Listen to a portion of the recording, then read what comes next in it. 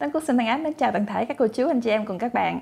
À, đến với cái ngày à, Tấm Cúc kể chuyện hôm nay, hôm nay Tấm Cúc sẽ gửi cho quý vị à, mấy cái mẫu chuyện hài ngắn ngắn cho vui ha quý vị.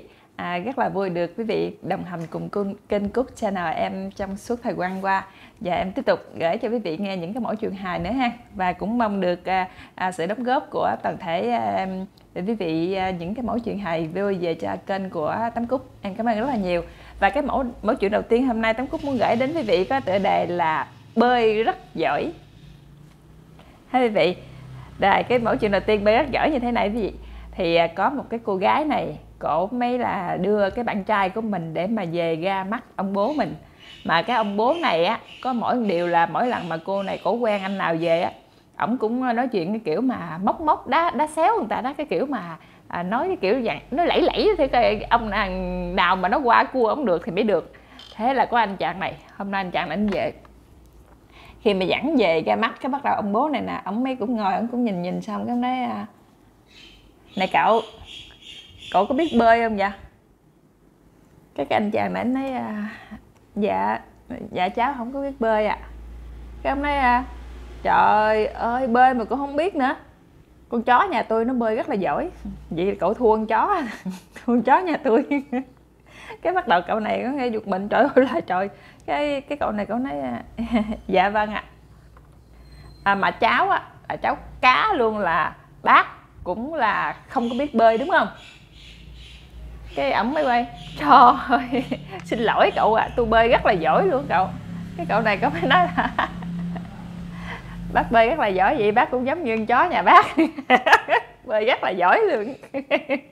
Cái ổng ơ cái cậu này ơ Ồ, thì, thì cháu đâu nói sai đâu cháu biết bơi thì bác nói cháu thua con chó. Bác bơi giỏi thì bác giống con chó. Gặp ghế lưu đạn. Vậy nó mới vui. Đó vậy thì một cái mỗi chuyện ngắn thứ nhất và cái mỗi chuyện à, thứ hai. Có cái tựa đề là rủ bé đi chơi nha. Thì à, như thế này có hai bạn nó ở chung cái cái cái phòng trọ với nhau. Thì uh, hôm nay thằng kia nó mới mới đi chơi đi chơi về xong nó mới kể cho thằng bạn nó nghe là trời ơi mày ơi hôm nay hết biết tao rồi. Hỏi sao? Trời ơi tao phái con bé ở sân trên á mà đâu có ngủ đi chơi được. Hôm nay tiện tiện cái kiểu mà ba mẹ nó không có nhà đó nhắn tin ba mẹ nó không có nhà xong quyết định tao ngủ nó đi chơi.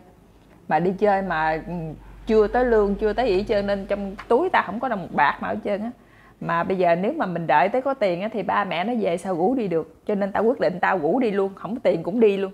Xả láng sáng đi sớm không có tiền cũng chơi luôn đó. Chủ yếu mình ngủ đi chơi. Vừa có nó đi chơi. Mà mày biết không trời trời trên đường tao đi chơi tự nhiên tao sọt tao vô túi quần tao thấy trong túi quần trời ơi có tiền gấp hết trơn. Đúng là ở phải trời thương thiệt. Vừa bỏ, bỏ tay vô túi thấy tiền quá trời thế là tao với con bé đó lấy tiền đó. Tao nói nghe ăn uống rồi mua tùm lum chứ mua hết tiền luôn. Ăn đã luôn. Xong tới chừng mà tao đi về cái thằng kia nó mới nói, trời, vậy là mày hay quá, còn gì nữa, có tiền để túi rồi bày đặt. Vậy hay quá. Cái mẹ nói ờ, hay gì, khi tao về tới nhà, tới phòng trọ mình tao mới biết tao mặc lộn cái quần của mày. Vậy là trời trời, vậy là cái quần tao, vậy là tiền tao bỏ trong quần mày lấy mày xài hết hả? Ừ.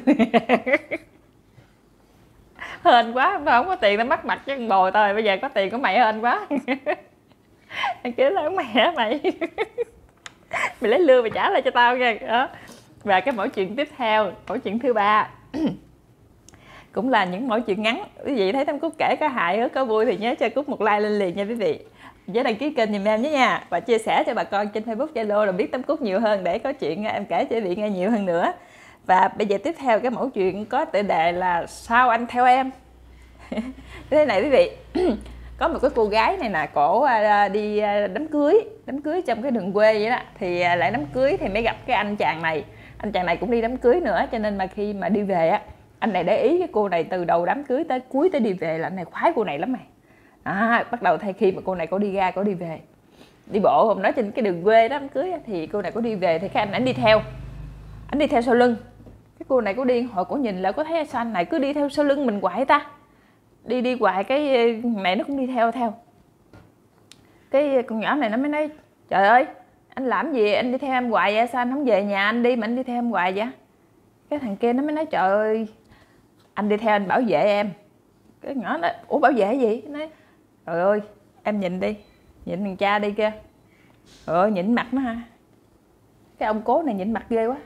Ông này mà nhịn mặt mà không có là coi như là uh, trộm cướp đầu đường xó chợ cũng là cái thứ mà dâm tặc chứ không gì nhịn mặt ớn không cái nhỏ này quay ớ, cái ông kia quay lại nói cái thằng quỷ kia tao là bố của nó tao đi theo tao với gái tao đang đi mày nói gì vậy? Ờ, trời ơi bác bác hả bác? Con xin lỗi bác. Em mới cua ta vô chửi bố người ta. Hả? Thì đây là ba cái mẫu chuyện. Và tám cúc à, cũng à, xin phép gửi đến cho quý vị thêm một cái mẫu chuyện này nữa. Một mẫu chuyện này hài hước vui. Và cái mẫu chuyện này à, thì của một cái vị khán giả gửi qua email cho tám cúc. Không gà chưa kể hôm nay tám cúc xin phép được kể lại cái tựa đề có cái à, cái chuyện có cái tựa là hai tay cầm hai dao. Mới nghe là đó mắc cười rồi. Em cảm ơn quý vị đã gửi cho em nha. Cái mẫu chuyện như thế này quý vị. Thì có một cái anh chàng này, ảnh à, còn trẻ, mới cưới vợ à. Mới cưới vợ, hai anh hai chồng về là còn trẻ, măng vậy đó, thương nhau lắm. Thì ờ, anh này lại đi công tác. Nó, mình mới cưới vợ về chưa trơn mà bây giờ ờ, kêu đi công tác cho nên anh này ảnh mới thấy vợ mình nó à, nó hiền lắm. Cái kiểu mà cưới vợ mà nó hiền khô kiểu như nó khờ khờ hay sao á.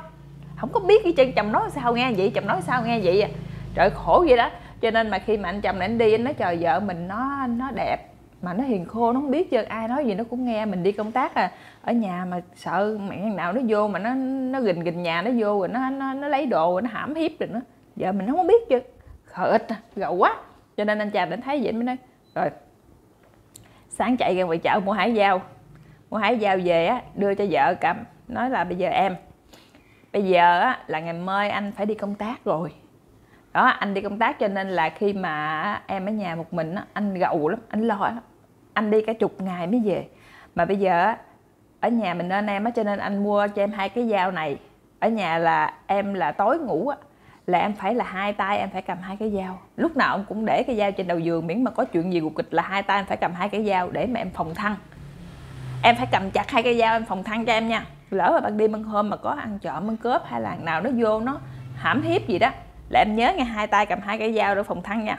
Cái cô nào nói ờ, dạ dạ dạ. Thì đó xong cầm hai nghe lời chồng dặn.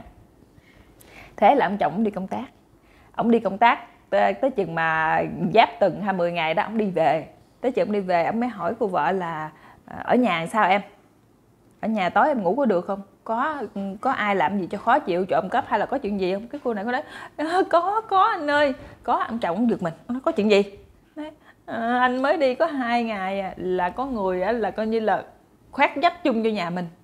Cái ông trọng giật mình á ủa sao? Khoét dách vô nhà làm gì? Lấy đồ mình hả? Nói, dạ nó khoét dách vô nhà em nằm bên mùng á em nhìn qua em thấy. Em thấy nó khoét dách rồi nó đi vô nhà nó lục tùm lum đồ lên hết trơn, nó lục nhà tùm lum cho nó không có thấy gì chưa cái ông chồng hỏi gửi sao nữa? Cái nó nó lục tùm lum, nó không thấy, cái nó nhìn, nó xoay qua, nó nhìn qua bên giường, nó nhìn qua em. Cái ông chồng nói gượng sao? Gượng cái em thấy nó đi lại, nó đi lại gần cái mùng của em. Nó tiến lại gần. Bắt đầu em thấy như vậy, em mới lấy hai cái tay em em chụp lên trên đầu giường em em cầm hai cái dao như là chờ là lời chồng nói vậy đó. Em chụp, em cầm chắc. Cái chồng nói gượng sao nữa? Nó có nói em thấy nó đi qua gần cái giường em, nó đi đi đi lại tới cái giường em. Chẳng rồi sao kể lẹ lên đi. Nó đi qua, nó dở mùng lên. Nó dở mùng lên một cái nó bước vô. Còn sao nữa? Nó vô, nó ôm em. Nó ôm em rồi nó làm gì em? Nó ôm em thấy nó hung lên chán em. Rồi cái em làm sao? Ờ, em em hai tay em đã cầm hai cây dao rồi. Cái ông chồng nó rồi nó làm sao nữa? Nó nói, bắt đầu nó lột áo em ra rồi nó lột xuống cái quần em ra rồi sao nữa? Nó nói, dạ rồi nó nó nó hung lên người em. Rồi sao nữa? Rồi nó nó làm cái chuyện đó giống giống chồng làm em vậy đó nó làm chuyện đó luôn. Ông chồng nói rồi sao? Rồi sao em em rồi lúc đó em làm gì? Em phản ứng sao? Nên là, em em đâu làm gì đâu tại em phản ứng gì tại hai tay em lúc đầu cầm hai cái dao em không có phản ứng được. Cho nên em nghe lời anh hai tay cầm hai cái dao để phòng thân cho nên nó muốn làm gì đó nó làm làm xong rồi nó đi. Ông chồng ông chồng ông đặt cho hỏi nó trở lại trời. Tôi kêu cầm hai cái dao phòng thân chứ tôi hỏi hai cái dao chịu chặn cho nó mặn hay gì. Em đâu biết đâu. Chồng kêu em cầm hai cái dao lúc nào mà có trộm cướp hay là có nào mà nó hiếp dâm hay là cái gì đó thì hai tay nhớ cầm chặt hai cái dao đó phòng thân thì em cầm chặt hai cái dao em phòng thân chứ em biết làm gì. Thì nó làm gì đó nó làm làm xong rồi nó đi. Ông chồng nói trời là trời vợ tôi đó là một mẫu chuyện vui của một vị khán giả gửi cho qua email của Tấm Cúc. Em cảm ơn rất là nhiều và rất là vui được quý vị gửi chuyện vui về cho hộp thơ của kênh Cúc Channel em. Qua địa chỉ email nguyễn kim cúc 191181 cầm gmail com hoặc là gửi cho em qua số điện thoại thì không chín bảy chín bảy Tám chín tám không tấm Cúc xin cảm ơn quý vị rất là nhiều và mong quý vị có một lượt à, chia sẻ, share về cho bà con coi nha và đăng ký kênh giúp em. Em cảm ơn và hẹn gặp lại quý vị ở chương trình à, em kể chuyện tiếp theo. Em xin bye bye toàn thể quý vị.